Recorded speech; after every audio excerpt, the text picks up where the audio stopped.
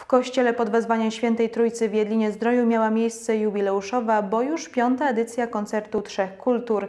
Jak co roku publiczność nie zawiodła, jak i również sami artyści.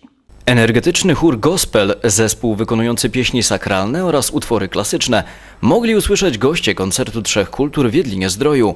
Impreza, która łączy różne odmiany muzyki oraz tradycji religijnej, miała już swoją piątą odsłonę w uzdrowisku.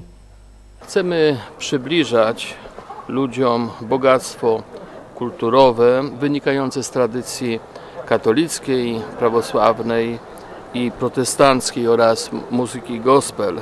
Tegoroczną edycję koncertu Trzech Kultur rozpoczął właśnie chór wykonujący muzykę gospel. Zespół poprowadziła Amerykanka na stałe mieszkająca w Berlinie. Donna Brown uznawana jest za najlepszą wykonawczynię tego nurtu w całych Niemczech. Sobota przebiegała z kolei pod znakiem muzyki sakralnej, którą prezentowali nasi sąsiedzi z południowej granicy. Chór złożony z kobiet pod nazwą Cantus Femina wykonał również utwory klasyczne, m.in. Dworzaka oraz Bacha. Zwieńczeniem trzydniowej imprezy był koncert Akademickiego Chóru Politechniki Wrocławskiej, w którym występują zarówno studenci, jak i wykładowcy tej uczelni. W zespole śpiewa także trzech rodowitych mieszkańców Jedliny Zdroju.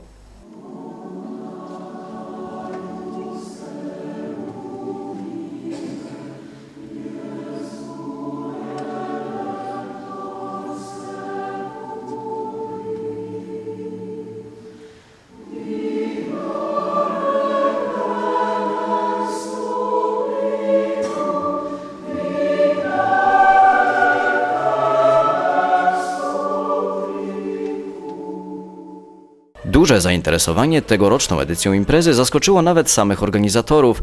Ambitne i trudne w odbiorze wydarzenie, jak się okazuje, ma jednak swoich zwolenników. Centrum Kultury ma już plany na kolejną odsłonę koncertu Trzech Kultur. Są wstępne rozmowy czynione na temat przyjazdu e, chóru żydowskiego z Tel Awiwu.